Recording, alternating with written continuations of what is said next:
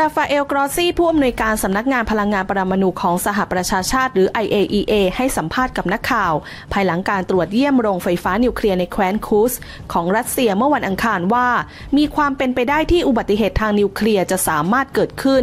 รัสเซียระบุว่าโรงไฟฟ้านิวเคลียร์แห่งนี้ ถูกกองกำลังยูเครน ซึ่งประจำการอยู่ห่างออกไปเพียง 40 กิโลเมตรโจมตีซ้ำแล้วซ้ำเล่า หลังจากเจาะเข้ายึดดินแดนของรัสเซียในเดือนนี้ แต่ยูเครนไม่ได้ออกมาให้ข้อมูลเกี่ยวกับข้อข้อกล่าวหาดังกล่าว กรอซี่กล่าวในงานถแถลงข่าวว่าเขาได้รับแจ้งว่ามีโดรนโจมตีในบริเวณใกล้ ๆ ซึ่งตัวเขาได้เห็นร่องรอยเหล่านั้น การสู้รบเกิดขึ้นใกล้ ๆทำให้โรงไฟฟ้าเสี่ยงเกิดอันตราย พร้อมเสริมว่าการที่โรงไฟฟ้ายังเปิดดำเนินการอยู่ยิ่งทำให้สถานการณ์เลวร้ายลงไปอีก ในแง่ที่ว่าอุบัติเหตุอาจเกิดขึ้นได้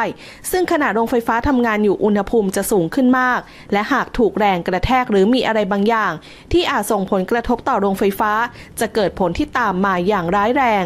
กรอซี่บอกว่าโรงไฟฟ้าแห่งนี้ไม่มีโดมป้องกันเหมือนโรงไฟฟ้านิวเคลียร์แห่งอื่น ๆ ซึ่งเป็นโครงสร้างที่สามารถต้านทานแรงกระแทก ของเครื่องบินที่ตกลงมาด้านในได้ทำให้โรงไฟฟ้าแห่งนี้เป็นเหมือนตึกทั่วไปที่มีนิวเคลียร์อยู่ข้างใน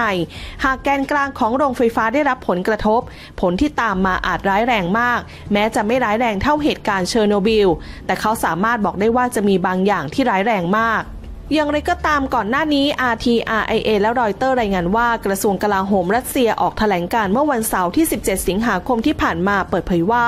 ยูเครนกำลังวางแผนจะใช้ระเบิดกัมมันตรังสีหรือ dirty bomb โจมตีโรงไฟฟ้านิวเคลียร์คูร์สของรัสเซีย ซึ่งโรงไฟฟ้าแห่งนี้อยู่ห่างจากพรมแดนรัสเซียยูเครนราว 90 กิโลเมตร และอยู่ใกล้กับพื้นที่สู้รบ หลังกองกำลังยูเครนรุกล้ำเข้ามาในแคว้นคูร์สของรัสเซีย ทั้งนี้กลาโหมรัสเซียเตือนว่า หากยูเครนโจมตีโรงไฟฟ้าคูร์สจริง รัสเซียจะเปิดปฏิบัติการตอบโต้แบบทันควันและหนักหน่วง อย่างไรก็ตามแถลงการณ์ไม่ได้ระบุรายละเอียดว่ารัสเซียจะเอาคืนอย่างไร แต่ชี้ว่าแผนโจมตีโรงไฟฟ้านิวเคลียร์คูร์สมีชาติพันธมิตรตะวันตกให้การสนับสนุนแถลงการณ์ยังเตือนว่าการโจมตีโรงไฟฟ้าคูร์สจะทำให้กัมมันตรังสีรั่วไหล และกระจายไปอย่างกว้างขวางสำหรับโรงไฟฟ้านิวเคลียร์คูร์สนั้น ถือเป็นโรงไฟฟ้านิวเคลียร์ชั้นนำแห่งหนึ่งของรัสเซีย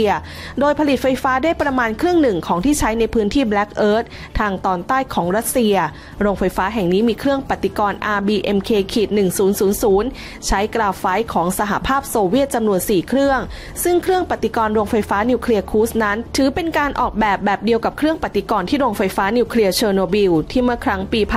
1986 หรือพศ